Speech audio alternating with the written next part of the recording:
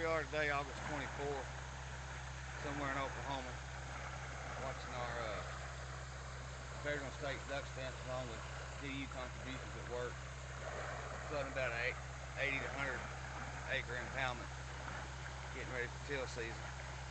Seen about four groups, about 40 birds, three groups, 20 birds or less.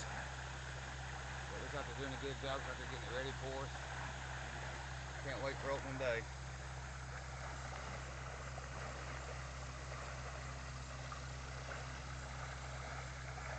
Take a little walk here and see if we can find some other potholes out there in the grass.